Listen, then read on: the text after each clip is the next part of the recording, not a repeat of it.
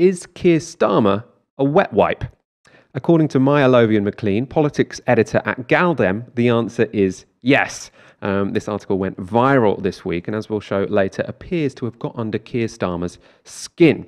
Um, the article starts by referencing Starmer's failure to challenge a white supremacist on LBC on Monday. We talked about that on Monday's show. So, of that incident, uh, Lothian McLean writes while watching Starmer resolutely feign momentary loss of hearing rather than tell a white supremacist where to get off was utterly demoralizing. It was also completely in keeping with the precedent for dodging taking an actual stance he set in 2020. Keir Starmer, you see, is a chicken. Eight months into his leadership, and it's become clearer that Keir doesn't particularly stand for anything. Instead, his tenure as Labour leader has so far been marked by profound cowardice and fence sitting. He's combined both an unwillingness to offer anything in the way of new ideas, new policies, and steps forward, with a simultaneous failure in defending existing left wing battlegrounds and minority groups. And finally, we get to the killer blow. Try and name a single Keir Starmer policy. Go on, think of it. Anything? Nope. Now name a Keir Starmer abstention. Um, of which there are more than a few. Um, and I've said this got under the skin, or seems to have got under the skin of Keir Starmer, or at least his office. Um, this is from Politico's Playbook email in response to this article. Um, so, a leader of the opposition's office source sends Playbook this long defence of Starmer's record in response to the article. Since becoming leader, Keir has shown that the Labour Party is under new leadership. He secured a U turn on the NHS surcharge, has taken a zero tolerance stance on anti Semitism, exposed the government's incompetence, helped force a U turn on exams, committed the next Labour government to a new Race Equality Act to tackle structural racism, forced two votes to extend free school meals, led calls for a national circuit break, closed the gap on the Conservatives, and begun to climb the mountain to win the next general election. Now, obviously, the best line of that response is since becoming leader, Keir has shown that the Labour Party is under new leadership. Uh, I saw a tweet which I really liked saying it's a bit like saying, since I became a circle, I've proved I'm round. It doesn't tell you very much at all. This article seems to have concerned Keir Starmer because gal-dem is a magazine um, which is you know, read by young people, written by young people, um, and especially sort of seeks to represent young people of color, um, women, and non binary people, is sort of the, its statement of intent. And these are, as we'll show in the, the data coming up, some of the reasons um, or some of the groups that Keir Starmer seems to be struggling with because I mean, we expect he seems to be putting all attention he possibly can into winning back the red wall and is basically taking everyone else for granted. Keir Starmer has has been in kind of a very false sense of security because he, you know, the mainstream press has been really, really soft on him. They they barely sort of mentioned him really. He's barely sort of been in the picture, and and that that's only by virtue that he's sort of not Jeremy Corbyn and shows that he is sort of doing everything he can and saving his most sort of vicious attacks uh, for the left and for, for Jeremy Corbyn um, rather than the Conservatives. Um, and, you know, his leadership, obviously, for many of the reasons that Moya points out, appears very, very weak. Uh, but I think it makes sense, you know, and I, and I often say this, it makes sense once you sort of think about and contextualize, you know, what is the actual purpose of his leadership? Um, it's, you know, it's to change the party. It's to reduce the power of members, it's to consolidate the power and increase the power of the PLP, to sort of reduce uh, the accountability to members and trade unions by increasing um, private financing. Um, it's also to kind of disempower and demobilize like young socialists who were brought in over the past five years and to essentially destroy the power of the members and particularly left wing members uh, and, and, you know the spirit of the left in the party for, for generations to come. I don't think he's really looking to the next election because you know it's still sort of many years away. He's that he's more looking at kind of cleaning house. That's the purpose of um, his his leadership. So they're kind of keeping their head down. He's keeping his head down really when it comes to public politics, which is why I think we're seeing a lot of these abstentions. But but what it does is it means that we're going back to the days of people feeling disengaged from politics because they don't see any difference between the parties. You know, that was always a thing you would hear on the doorstep before 2015. Um, and that, you know, this kind of brings us back up to the beginning of the show, which is that it will increase the proportion of people who are instead voting on kind of culture war terrains that are set up by the Conservatives, because this becomes the only real terrain um, on which the parties distinguish themselves from one another. And the reason that that terrain is so useful for the Tories is because they're setting it up on their terms. They're, they're able to look like they're fighting for something. They're fighting for a particular constituency of people that still are influential in voting blocks and will be in the next election. And Labour, meanwhile, just look really mealy mouthed and just like they're trying to kind of play all sides and like these very, very overly focused grouped messaging. And it's kind of shown up in that really horrific LBC interview where, you know, he doesn't feel able to actually call out the racism of the of the caller uh, because he's scared. Um, but he knows that he can't sort of outright agree. Um, so he ends up just kind of flubbering like a malfunctioning robot which is why I think that it would be very, you know, if I was on the Labour right um, or or kind of the centre, I would think of myself as like I would think, okay, we're going to have Keir Starmer to do this particular internal party work for now, and then we'll put someone else up for election because he's now too branded with that kind of mealy mouthed uh, cowardice. But for the purposes of what the establishment of the party have you know, strategize for what their priorities are over the next few years. It's not to actually fight conservative policy and to actually improve outcomes for working class people in this country. It's to do that sort of cleaning house. So, in a sense, he's kind of doing what he was put in there to do for now, not by the membership, but you know, by kind of the more establishment and the, the basis on which he has such broad support from most of the PLP. So, so as you say, Dalia, the mainstream media has not really scrutinised Keir Starmer at all. Um, they constantly give him the benefit of the doubt. I think the most clear example of this actually is the fact that when Jeremy Corbyn was suspended, no one really asked, "Are you sure there wasn't a deal you know, actually not when he was suspended, when the whip was was removed from him. Um, they didn't say, Are you sure there wasn't a deal that readmitted him to the party and now you've just freaked out? It was there clearly was, or it, look, it looks in all likelihood that there wasn't, and no journalist asked him. If you are interested in people who do put Keir Starmer under some scrutiny, uh, do subscribe to Novara Media. We go live every Monday, Wednesday, and Friday at 7 p.m. and we'll be putting out a video every day um, over the Christmas break. Um, as I said, we do put Keir Starmer under scrutiny. We do also like to be very fair about him. We're going to go through some data about what the electorate think about Keir Starmer at the end of his first year in office. Um, for now, though, I want to go to a clip um, from Wednesday. I mentioned this on Wednesday's show. It's from PMQs, and I think it's really worth watching because it sums up where the lines of opposition between the Prime Minister and the Leader of the Opposition have been drawn. As this is the last PMQs of the year, I, for one, often wonder where the Prime Minister gets his advice from. Well, now I know, because I've here the official newsletter of the Wellingborough Conservative Party. Uh, it, it, it, it's not on everyone's Christmas reading list, but it is a fascinating read because it gives a lot of advice to wannabe politicians. It says this say the first thing that comes into your head it'll probably be nonsense.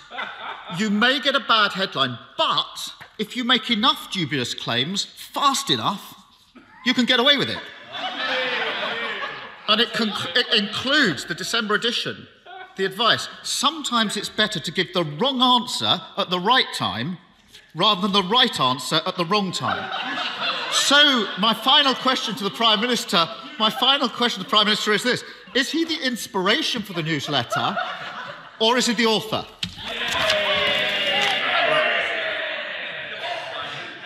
Well, uh, Mr. Speaker, uh, I think what the people of this country would love to hear from the right honourable gentleman this season of uh, of goodwill is is any kind of point of view at all yeah. on some of the key on some of the some of the key issues. I mean, he this, this week he couldn't make up his mind whether it was right for kids to be in, in school or not, and, and uh, havering uh, completely. He couldn't make up his mind last week uh, whether or not to support uh, what the government was doing to fight COVID and told his troops heroically to, to abstain. He couldn't make up his mind about Brexit, you'll seem to remember. We don't know whether he'll vote uh, for a deal or not. Uh, uh, Mr. Speaker, uh, he can't attack the government. He can't attack the government if he can't come up with a view of his own. If he, or, Mr. Speaker, in the words of the song from All I Want for Christmas is a View.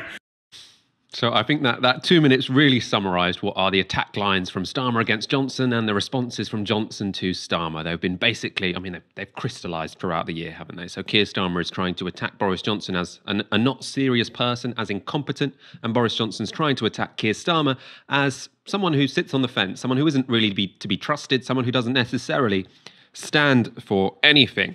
Um, I mean, presumably they've they've landed on those because they think they are the most effective. Let's see what the public think.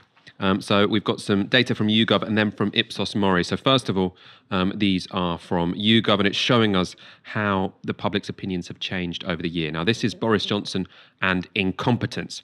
So you can see people have, have judged that um, that Boris Johnson is is fairly incompetent. Um, there was a, there was a period um, in the middle of the year where they thought that potentially no maybe he's decent at his job. I think that was when maybe when they were giving him the benefit of the doubt when he'd gone into hospital. That's probably when they thought he was most competent when he was potentially unconscious.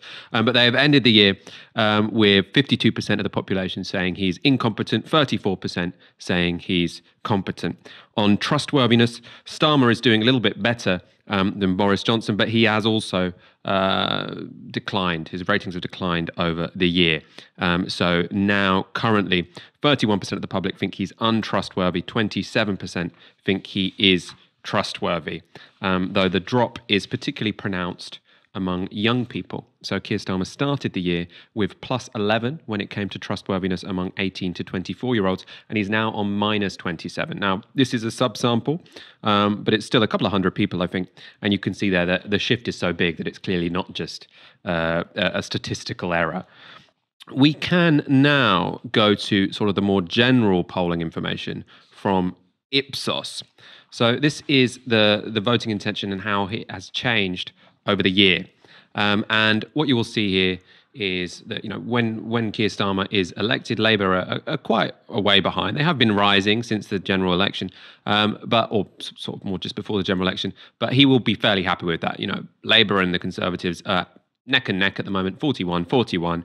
Um, he has closed the gap. Now, you might argue this isn't just any year. The government have sort of overseen um, a, a ginormous death toll um, and have you know been seen to deal with Brexit in a fairly incompetent fashion. But still, I mean, he's closed the gap there. Um, you can also see now in terms of who is more satisfied or who the public are more satisfied with. So this is their satisfaction ratings. So as you can see there, Boris Johnson is on net minus eight, although it has improved over the year, and Keir Starmer is on plus five. So Keir Starmer at the moment, people are more satisfied with how he is behaving in his job than Boris Johnson. The good news, though, for, for Boris Johnson is that there hasn't been much change over this year at all. So he starts with sort of 5% more people thinking being dissatisfied with him than satisfied, and he ends with 8% of people being more dissatisfied than satisfied. So what you can see is even though he has um, overseen the deaths of 75,000 people, one of the highest death tolls in Europe, a lot down to sort of the, the, terrible mistakes he made at the start of this pandemic. He ends the year as popular as he started it. Keir Starmer, on the other hand, whilst his satisfaction ratings are higher than Boris Johnson on the whole, his ratings have gone in the opposite direction. So you can see that when he, you know, in June in the summer, when he, one of the, I think that's probably the first uh, survey since he became leader. You can see he's got a massive gap there. He's on plus 30 when it comes to satisfaction, and by the end of the year, he's only on plus five. So there has been a big shift there. So people's opinions of Boris Johnson are staying the same. Of Keir Starmer, they are declining, even though Keir Starmer still is um, or has has more people satisfied in how he has operated than Boris Johnson. And I just want to, you know, because we like to be very fair, um, that decline in in satisfaction when it comes to Keir Starmer is not necessarily unusual or something which shouldn't be expected. A sharp decline in your popularity or the number of people who are satisfied with you seems to be fairly common um, for any opposition leader. So it seems to be that at the start of your term, people give you the benefit of the doubt, and then they, you know, uh, more people start to form negative opinions of you um, as the year goes on. So again, um, I, I, assume he'd prefer it to be more the shape of Tony Blair, who who stayed fairly high throughout that. It, it doesn't seem like the end of the world. Dalia, I want to put this to you. Um, so obviously on this show we've been you know fairly critical of, of Keir Starmer for his I mean outrageous decision to suspend uh, Jeremy Corbyn and then withhold the whip from him from abstaining on the spy cops bill, abstaining on the um, the the bill which allowed people to break international law when they're abroad, if it was five years ago, um, and then I mean just a, a, laughable amount of abstentions on almost everything. Um, but the public, you know, I, I think his team will probably be fairly happy at the end of this year. Their, their main intention was to sh- was to get a, a, decent first impression for Keir Starmer, for people to think, yeah, I could potentially see him as prime minister. He wanted to put clear water between himself and Jeremy Corbyn. He's kind of done that. Um, he wanted to attack Boris Johnson as incompetent. He's kind of done that. I mean, do you not think they'll look at those poll results and think, yeah, we've done a good job? I mean, I think they probably will, and I think that that's because they have managed to kind of tick all the boxes that they are trying to do, which is to kind of remove vision, as it were, um, from from the party. But I think that you know we have to take into context here that this these numbers come from a time where Keir Starmer has really not been not experienced the full kind of uh, machinery or the full kind of uh, context of what what the media or the opposition might say. And it's kind of, and I think that's why we've seen a kind of hands off approach, is it's because, as I said, that kind of focus on cleaning house and changing the party and not wanting to really be a player in in the public sort of sphere so as not to actually get into the dirty work of being tested by the media and by the opposition. Um, but I think that the the legacy of Keir Starmer will be that in the middle of a pandemic where Britain had objectively, other than the United States, had objectively the most catastrophic um, outcomes um, in the world. And in the midst of a Brexit negotiation that doesn't seem to have really moved that much in the past year and is causing the kind of scenes that we talked about earlier. And in the context of, you know, levels of child poverty that are reaching to the point where UNICEF is actually having to come and intervene, that the Labour Party of Keir Starmer stood by and didn't really have much to say on that. So I don't know how long that might tarnish his brand if he was to go into an election with that legacy. Um, but as I said, I think that his team have achieved the things that they wanted to achieve, and they've managed to do it without as much attrition or focus from mainstream media, uh, you know, from barely any kind of scrutiny from, from mainstream media. The question of whether that would be a sustainable strategy going into a general election is remains to be seen because I still do think that because the conservatives hold so many of the apparatuses of state power, um, that an alternative model of power has to be developed in order for any kind of pro working class party to get into power. So the question is um, is that the kind of party that's going to be going into an election? And if it is, uh, what strategy do they have other than to just sort of play chicken, as it were, which is the strategy that Keir Starmer is following at the moment?